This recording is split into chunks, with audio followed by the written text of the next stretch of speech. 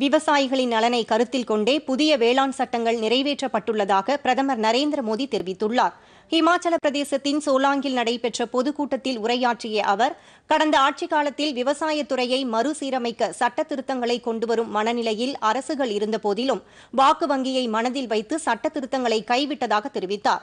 தமது தலைமையிலான மத்திய அரசு நாட்டு நலனுக்காகவும் விவசாயிகள் மேம்பாட்டிற்காகவும் புதிய வேளாண் சட்டங்களை கொண்டு வந்து நிறைவேற்றி இருப்பதாகவும் பிரதமர் குறிப்பிட்டார். விவசாயிகள் கடந்த நூற்றாண்டில் இருந்தது போலவே தொடர வேண்டும் என எதிர்க்கட்சிகள் விரும்புவதாக அவர் குற்றம் சாட்டினார் निरंतर ये प्रयास है कि सामान्य मानवी की परेशानी कैसे कम हो और उसे उसके हक का पूरा लाभ कैसे मिले நாட்டை அனைத்து துறைகளிலும் தன்னிறைவு பெற்றதாக மாற்றுவதற்கு தேவையான நடவடிக்கைகளையும் சட்டங்களையும் தமது அரசு கொண்டுவரும் என அவர் கூறினார் அரசியல் ஆதாயத்திற்காக செயல்படுபவர்களே தமது அரசின் திட்டங்களை குறை கூறி வருவதாகவும் பிரதமர் நரேந்திர மோடி கூறினார். முன்னதாக சிசு என்ற இடத்தில் நடைபெற்ற நிகழ்ச்சியில் உரையாற்றிய அவர் நாட்டில் வாக்குகளுக்காக இல்லாமல் அனைவருக்குமான வளர்ச்சி என்ற அடிப்படையில் திட்டங்கள் செயல்படுத்தப்பட்டு வருவதாக கூறினார்.